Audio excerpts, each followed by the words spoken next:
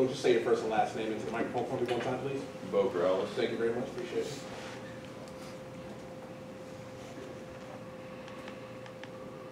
What up? Uh, Well, I guess I'll start. Since Nobody else wants to ask the question. The I was basic question, typing basically coming off, out of the weekend, is how are you guys, you know, containing those emotions off of such a huge victory for you, rivalry game and all that, and going into the month of November with so much ahead of you guys? How are you guys containing that emotion going into this week in Virginia? Uh, I'd say just being aware. Um, we're really aware of the situation that we're in, the opportunity that we have, and so uh, that's given us a lot of focus, and so that's what we're keeping going into this game moving forward. What ways have you improved from, uh, say, September, you know, first training camp to, to now?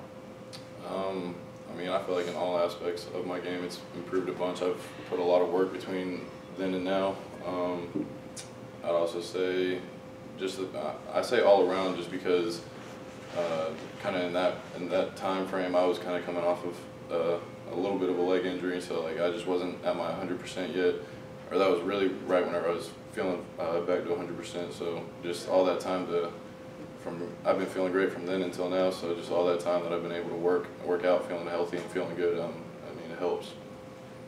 Kind of an easy question, but uh, how much more fun is this right now than the last couple of years? And in addition, how do you kind of balance the fun and the work?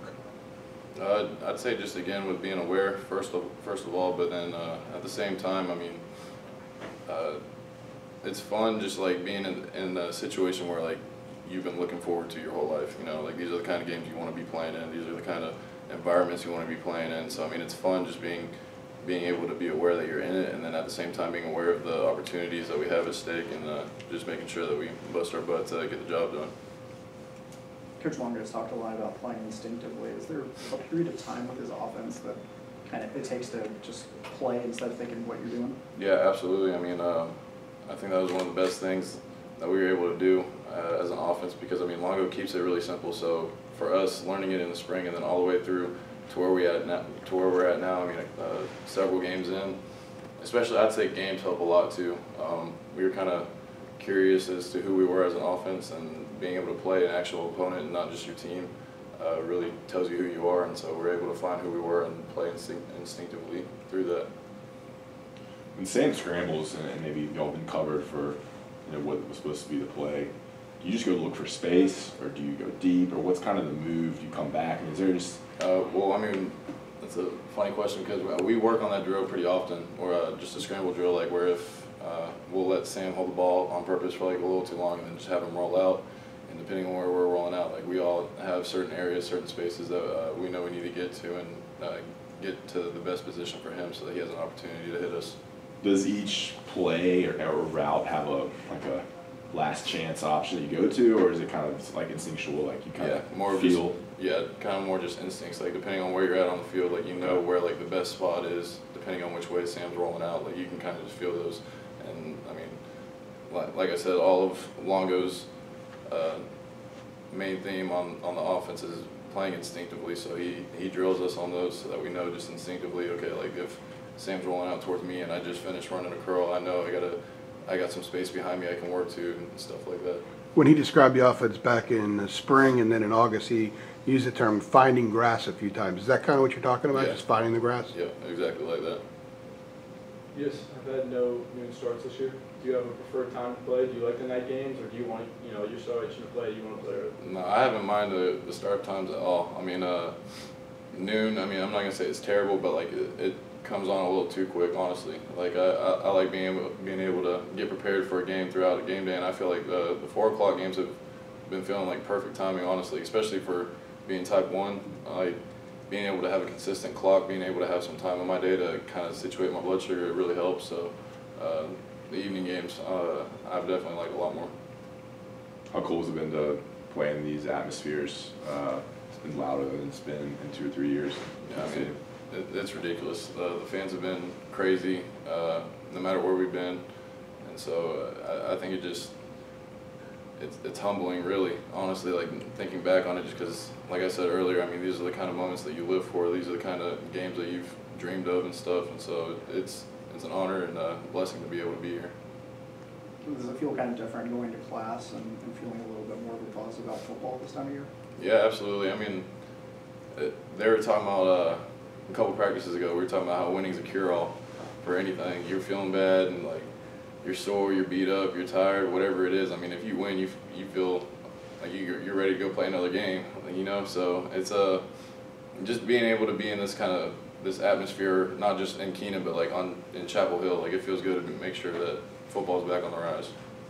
Beau, Coach Longo talked uh, yesterday about the relationship that you have with his daughter who has type 1 diabetes too. I mean, what is what is your relationship like relationship like with her in the first place? And then has that maybe brought you and Coach Longo closer because you have such a u- unique relationship? with his? Um, I'd say a little bit, because I mean, me and whenever Coach Longo first got here, we definitely had sat down and had a talk. Um, I told him about like my issues. He told me about issues he has with his daughter and stuff, and we kind of just took a little bit of time to talk diabetic talk, I guess. Um, but uh, I don't know. I definitely say my my relationship with Gianna is pretty uh, interesting. She's a she's really mature for her age, which I'm not surprised because diabetes will definitely put some responsibility on uh, on yourself. Even though she's really really young, I, I forgot what her age is, but I mean she's a little girl. I think you said eight. Eight, yesterday, Yeah, right? she acts like a total grown up. It's hilarious. But I mean, like she has like a little game, like especially during the summer, like during fall camp and stuff. She was running around with the one of the trainer's bottles and was like finding me wherever I was if I wasn't practicing and was squirting me with water and stuff. And so I tried to get her back, and uh, currently have the game on timeout while it's a little chilly. But she told me uh, she made sure to remind me that she's gonna get me back in the spring. So definitely interesting with her. This upcoming game has been dubbed by some as the biggest game of the year. Do you feel any of that pressure going into this game, or are you just staying level-headed? Uh, I'd say pretty level-headed, I guess, just because I mean, uh, as I mentioned earlier, like we definitely know like the, the opportunities that we're being given right now, um, but at the same time, like I forgot uh, who the basketball player was that had mentioned it, but I mean like playing a sport that you love isn't pressure. Like you should never feel pressure from that. Like pressure's like parents having to pay bills and meet make uh, ends meet and stuff like that. So I'm just excited with the opportunity that we got. Well, uh, NCAA today, you know, announced that they're gonna allow, uh, in the future, they're gonna, you know, move in the direction of letting players, uh, profit off their likeness and everything. As a student athlete, you know, what does that signal to you? What does that mean to you? Um, I mean, it's exciting to hear. Uh, I don't know how accurate their plan to put it into action is, but so I'm not too worried about it or anything like that. But I mean, it's definitely good good news to hear. Um, I feel like it, it's kind of just stuff moving in the right direction. So everybody's got to start somewhere. Everything's got to start somewhere. So I'm, excited for it. If you're a guy that has a lot of, you know, say, a lot of followers on Instagram or social media, whatever, um, and when you're coming into school and everything, you know, it's something that you can maybe uh, profit off of. So is that uh, something that kids uh, look forward to, you know, since you're in that social media age and everything? Oh yeah, I'm sure. I mean, I don't think my social media uh, fan page is up to that level of status, but I mean, I'm sure guys out there are excited about it. I mean, I don't, I don't know why they wouldn't be, you know. Coming up, you know, when you realize you have a chance to be a D1 player, how much did guys look forward to the chance to be in the video game back, back then? Oh, I, shoot, I had a whole freaking roster of my Pop Warner team on the NCAA game whenever, whenever I had it. Um, so I mean, like, I think that just goes to speak to, speak on how much like little kids look up to that. Especially, I mean, I, I don't even remember how old I was whenever the last one came out, but it's been a while. So I mean, it, it, it's definitely exciting and uh, brings back memories. So definitely some nostalgia with that. I'm sure a lot of other people feel that. What would be your catchphrase? What would you grade yourself? Ask me that again at the end of the season. I'll have a better, better answer. Did, uh, were you a Texas guy, Vince Young? on- Oh yeah.